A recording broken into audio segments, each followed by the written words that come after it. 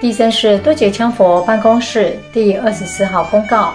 首先在此提醒大家引起重视，真正付诸实践执行第二十四号公告，不可以再视而不行了，否则将会继续出现不听第三世多杰羌佛教戒，只知道来函咨询而不解真相，乃至上当后又来求证的情况。说句难听的话，为什么你们要相信呢？你们就那么甘愿当个受骗者吗？你们不听第三世多解强佛的话，还能认为自己是个佛弟子吗？你们把一百二十八条之戒拿去印造了吗？其实这其中另有一些上当之人本身就有问题，其本意就是要借用组织大家为他的仁波切等上师供养或做生意等机会来牟利，因此才根本不听第三世多解强佛的告诫。结果哪知道他自己贪图利益不成，反被破戒之事所骗。这时才想到要到第三世多解羌佛办公室来告状了。当然，这是极个别之人。第三世多解羌佛早就知道有这么一些犯戒之人，不听教化，不顾行人利益。因此，为了保护好人，一而再、再而三的在法音里、在佛书上声明强调。包括第三世多解羌佛办公室多次发表公告，告诉所有的善男女行人，第三世多解羌佛早已宣布了，他不收任何供养，只为大家义务做事，利益众生。但是，一些行人们就是把第三世多解羌佛的决定告诫当成耳边风，致使造成了个别戒行欠缺的所谓仁波切、阿舍离法师等钻了空子。这些人背地里以第三世多杰羌佛的名义，或者打着供养第三世多杰羌佛的旗号，或宣称要在某处建立道场，或说要购买法器，或说要做某件果事。总之一句话，这些个别破戒之人，假借第三世多杰羌佛的名义，要大家拿钱出来给他们办事。而且猖狂到了发生公开违背第三世多杰羌佛教导的逆行，竟然有仁波切拿出了十几个红包，说这是他从国外带回来的佛弟子们供养第三世多杰羌佛的钱，其中另有物件、布料等。第三世多杰羌佛非常难过，当场要这个仁波切退还物件和钱给供养者，并把他赶出了门。当时就要办公室严格查明这些不敬行为，将其公诸于世，以免修行之人上当。由于第三世多解羌佛办公室最近又接到一些这样的求证，为了一切善良的修行人不致上当受骗，为了你们真正了解第三世多解羌佛关于对他做供养所做的再一次不变性决定，第三世多解羌佛办公室特别再次公告如下。大家记清楚了，这不是我办公室失职，而是三番五次的公告提醒大家。有些人不听，甘愿上当，我们也没有办法。第一、第三是多解羌佛不收供养，包括你们所谓表法的东西，也不为任何寺庙或社会团体代收供养，其中包括钱和财产、食物等一切含经济价值的任何东西。第二。第三是多解羌佛已经多次说明，任何人无论其地位多高、名声多大，都不能代第三世多杰羌佛收供养。第三世多杰羌佛也从来没有收过别人转来的供养，无论你们供养给什么人或机构团体，这个供养都与第三世多杰羌佛无关。第三，至于任何人要供养、捐赠圣德、大德、弘扬正法的寺庙、道场、慈善组织。社会团体、公益机构、救助机构，这种慈善行为值得尊重，但是这是捐赠者自己的发心，任何仁波切、法师、阿舍离不能规定强迫他们。第四、第三是多解羌博告诫大家，只要认真学习并行持已经发表在网络上的解脱大手印中的两大心髓和什么叫修行，以及戒心经说真谛，不必拜任何人为师。包括不需拜第三世多解羌佛为师，但是必须闻听第三世多解羌佛的法音，都会增长福慧，得到成就。第三世多解羌佛已经尽了力，连不必拜他为师都说了，说白了，人都不需要见，还贪图你们什么呢？难道还想要你们的供养吗？第五，行人们不了解第三世多杰羌佛，今天略为告知。第三世多杰羌佛不仅不收供养，并且还拿自己卖化的钱捐赠给寺庙、僧众和在家人等。这种例子太多，不胜枚举。这些例子本身不值一提，因为实在不想向大家表白，欢呼乃世俗之见。但是不讲这些事实，你们就会误会于迷惑之中。因此，必须略举几个近年发生的实例。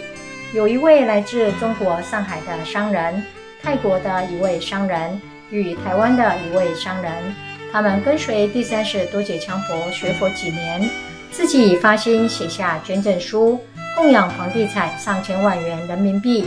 但是第三世多杰羌佛坚决拒收。他们说已经发了心愿，佛陀师父又不收，他们只好分别将五十万美金。三十万美金和一百五十万美金供养给公益的社会福利机构了。来自中国北京的一位著名商人，在学习第三世多杰羌佛的解脱大手印以后，于今年将他自己的价值一亿两千多万元人民币的股票供养给第三世多杰羌佛，但第三世多杰羌佛还是像对待任何供养者一样拒收。并在供养书上批字定位，分文不收。在世界和平奖颁奖期间，一位祖籍马来西亚的商人将位于华府高级住宅区的一栋室内面积一万平方英尺、有两英亩花园的豪宅供养第三世多杰羌佛。第三世多杰羌佛当场拒收，并批上永远不受分文的文字。有一个人派他的仁波切弟子带随行四人来做供养，并写下供养书两亿五千万美金，要供养第三世多杰羌佛。第三世多杰羌佛照常拒收，分文不收。因为在前一天我们知道他带了很多东西来供养，就把这整个现场过程做了录影。另有人见第三世多杰羌佛不收供养。把红包放在第三世多杰羌佛座前就走了。有的红包上不留名字，无论留名不留名，凡此类情况，均是由寺庙接收此红包，收入公众账户。第三世多杰羌佛根本看都不看一眼。这种崇高无私的道德福晋前无古人。可是有一些人的钱已经捐给了寺庙，却说成是供养给了第三世多杰羌佛。这些人实在可怜，几十万、几百万、上亿的钱，佛陀都不收，并拿自己卖化的钱做捐赠，反而他拿你的小红包污染自己吗？这些例子都是真人真事，有接受捐赠的单位，有捐赠者姓名，有具体金额，完全实实在在，有据可查。由于有人继续在受名骗，第三是多杰羌佛要办公室今天再一次公告大家。其目的是真诚的，希望大家学佛修行，当好人，成仁者大德，给人类众生世界增加和平昌盛。因此，大家要特别注意，如果今后还有打着第三世多杰羌佛的名号，帮着收供养、建道场、买产业、卖东西给弟子赚弟子的钱、代转供养等，这些人无论其地位多高，那都是骗你们的。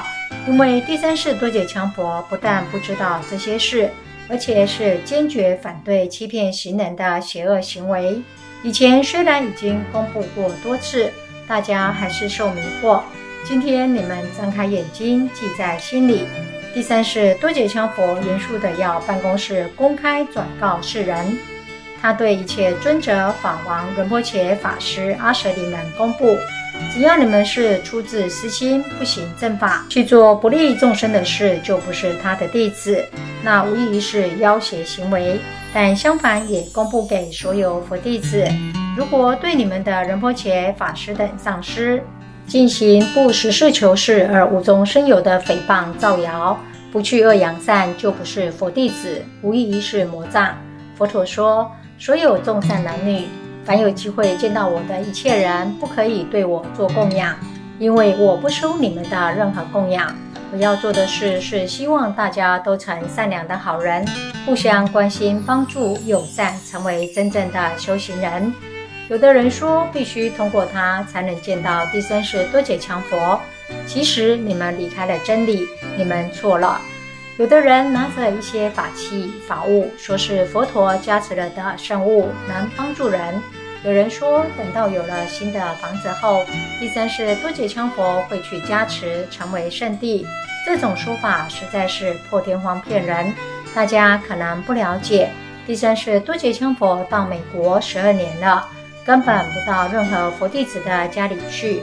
原因就是第三世多杰羌佛怕不尊教法之人打着他的名号去骗人，连家都不去，还会在某人家里做加持吗？你们知道什么叫加持吗？第三世多杰羌佛说他没有这个本事，因为这不是修行。当然，你们确实能得到佛陀的加持，但必须要明白，下面几条就是真正的加持。第三世多杰羌佛说，你们要学习理解《戒心经》说真谛和什么叫修行，多帮助大家闻听我开示的法音，特别要行持解脱大手印两大心髓。这才是我对你们的真加持。其实这是你们修行自己挣来的加持。只要这样，你们就一定受到本尊诸佛加持。我保证你们受圣法观点，必然学到上品法，福慧增益得大成就。这不是我的加持力，而是因为你们修行了，是你们自己挣来的，是因果使然。